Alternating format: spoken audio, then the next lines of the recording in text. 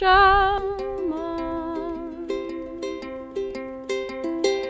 Heaven help us when all your gold is gone.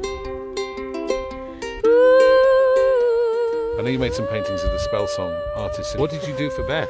Beth found her own birds, really, because um, the problem with Beth uh, was that she kept being a wren, and Karine's a wren, and I didn't want to do two the same. But then when she started singing Goldfinch, she just became a whole charm of them.